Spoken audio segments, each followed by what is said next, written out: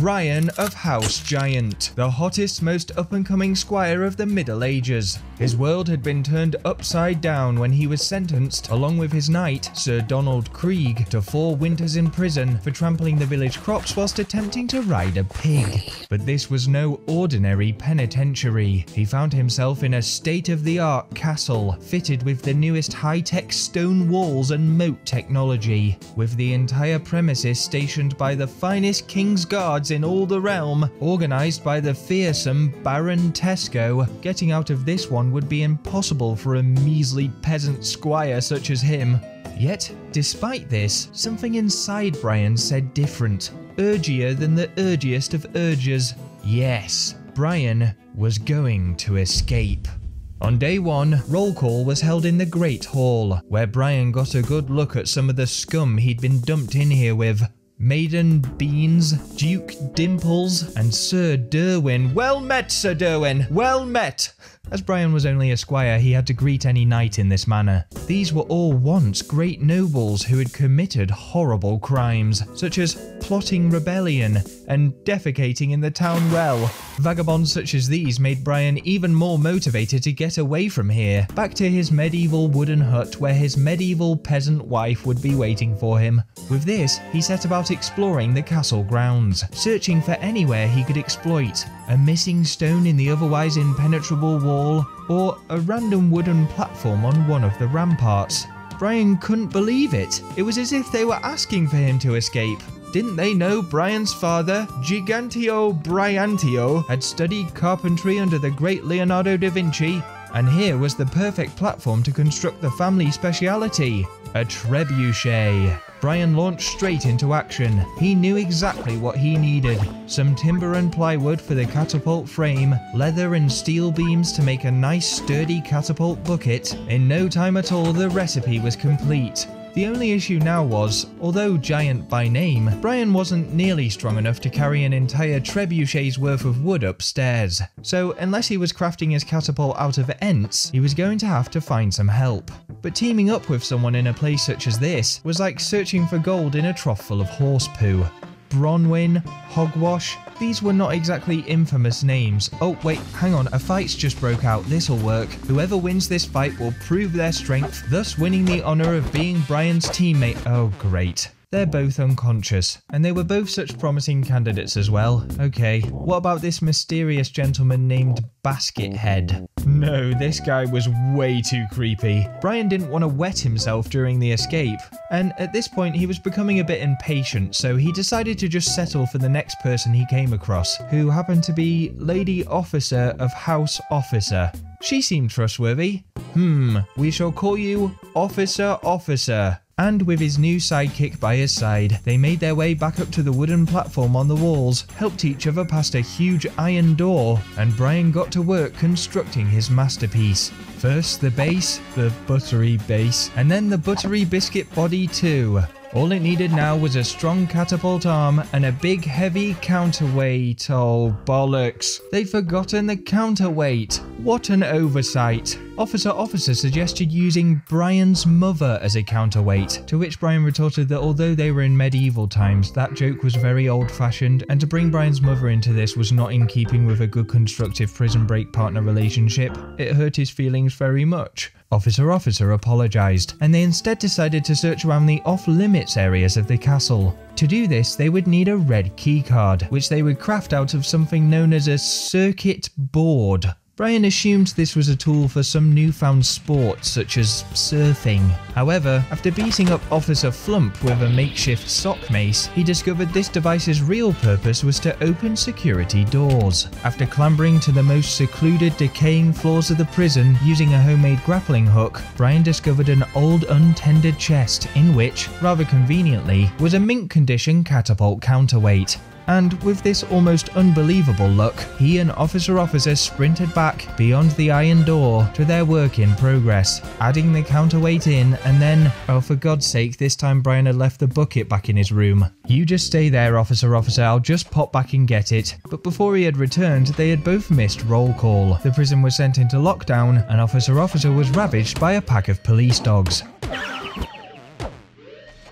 Thankfully, following a stint in the prison dungeons peeling potatoes, the plan was back on. This time, all the pieces had come together. They hauled the counterweight into place, Brian shoved the bucket on the end, and they heaved themselves up onto the trebuchet with great anticipation. This was it. Brian gave the countdown. Three. Whoa, whoa! Oh dear. Not only had Brian messed up the countdown, but as it turned out, there was in fact an outer wall in this prison they hadn't accounted for. Aside from picking up a major concussion, Brian was just feeling rather defeated. His masterful plan had failed, and he would now be stuck here for four long, cold winters. Ooh, he wished he had brought his mittens to prison.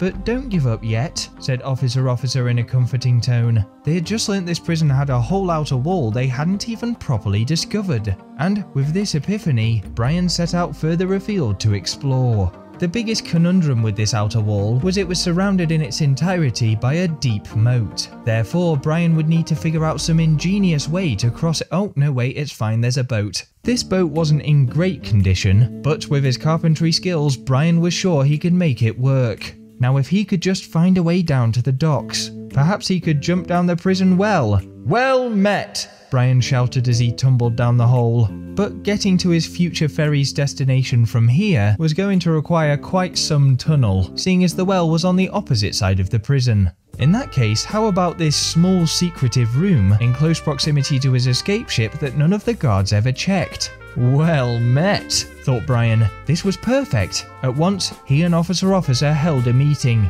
Here was the new plan. Officer Officer would find a way to cause a prison-wide distraction, whilst Brian would dig the tunnel down to the docks and repair the boat just in time for the two to rendezvous as they both sailed their way to freedom. It was flawless, and Officer Officer got to work straight away. Her mischievous distraction strategy involved cosplaying as a castle ghost and scaring the guards out of their wits. She would go full Scooby-Doo and pretend to possess a suit of armour, and to make such a costume she needed a whole load of metal. Therefore, she decided to sign herself up for the horseshoe making job. The issue being, a maiden named Anne of House Gunn already held that position. So Officer Officer beat her up repeatedly with a sock mace until she was unable to make horseshoes anymore. It was quite messed up actually, she literally waited outside the hospital and punched her every time she tried to leave. I mean forget Anne Gunn, that feels more like Anne Red Flag to me. After all of this, however, she could take the job for herself, then infiltrating the prison forge and bagging as much molten metal as she could get her filthy blood-stained hands on.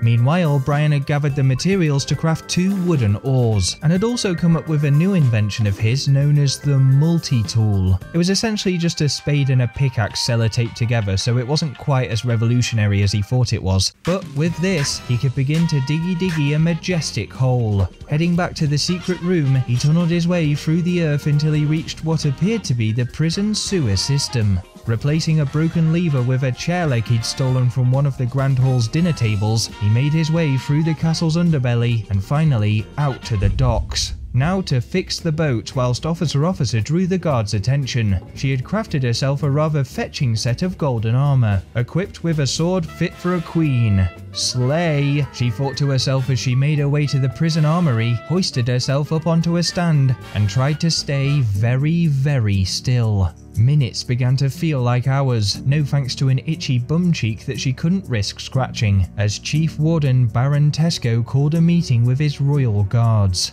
How long was this gonna take, thought Brian, who had fixed up the boat and got his oars in place quite a while ago. Finally, Officer Officer saw her opportunity.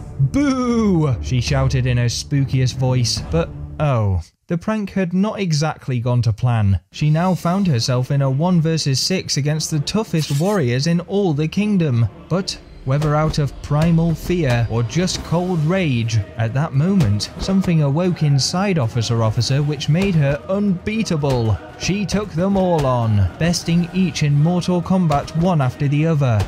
Brian could hear the cries of battle from all the way at the docks. If he stuck around here much longer, the alarm would be raised and the prison placed under high alert. With this, he made the tough decision to leave his partner behind. Rowing his little pixely arms off, the boat came creaking to a halt on the other side of the moat.